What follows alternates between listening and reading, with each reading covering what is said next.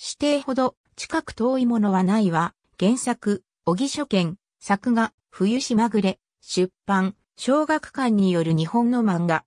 主な特徴として、当初すべてのキャラに固有名はなく、あくまで姉、弟といった立場や通称を名前のように呼んでいる点と作中のほとんどのキャラが何かしら異常性を秘めている点。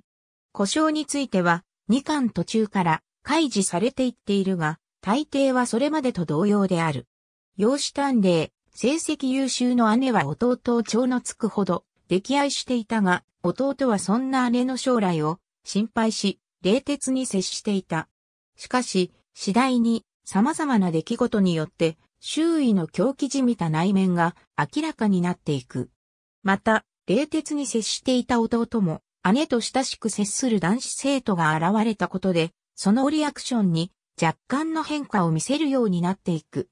これは、弟を愛する姉と、そんな姉を突き放しつつも時折甘やかす弟、そしてそんな二人と周囲によるヤンデレだらけの物語である。名称欄には、本名ではなく人物紹介に書かれている通りの故障を記載する。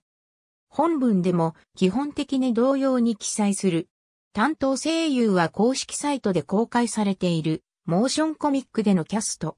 ありがとうございます。